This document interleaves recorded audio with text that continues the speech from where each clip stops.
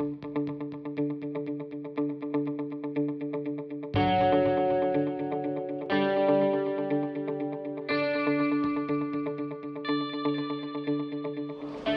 gondolom, hogy a sajtószóvivői hálózat a munkacsoport koordinálásával egyre optimálisabban működik.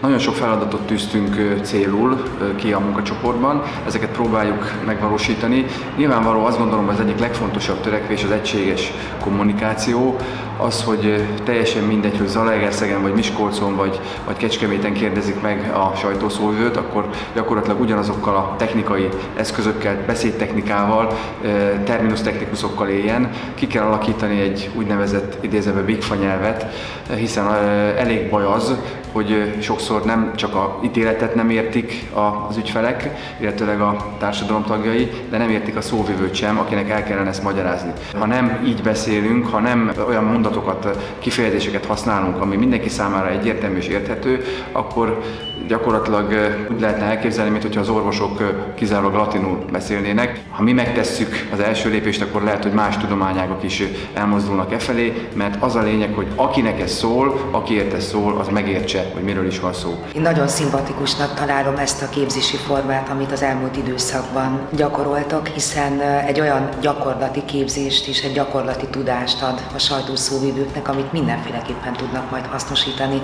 Mindenkinek már megvan a gyakorlata, akár nyilatkozásban, akár fogalmazásban és egyebekben, de az, hogyha egy szakmának egy elismert képviselőjétől még több gyakorlati információt tudunk elsajátítani, ez mindenféleképpen kamatoztatható majd a hétköznapokban.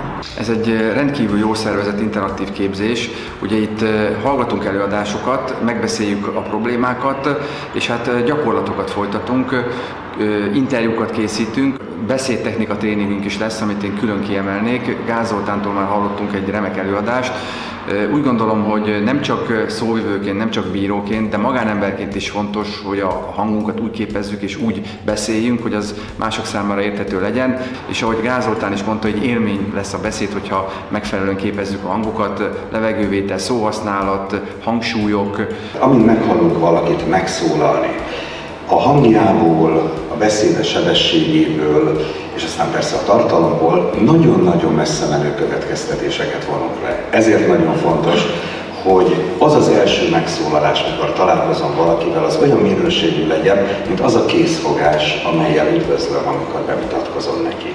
Ami a legelgondolkodtatóbb, hogy nem elég az, hogy én szakmailag tudom, hogy mit mondok, nem elég az, hogy a tartalma rendben van, az sem mindegy, hogy hogyan adom elő, hiszen az újságíró, mint befogadó és mint közvetítő a nyilvánosság felé, az alapján fogja megítélni tulajdonképpen az általam képviselt intézményt is, ahogyan én kommunikálok neki egy-egy adott ügy kapcsán.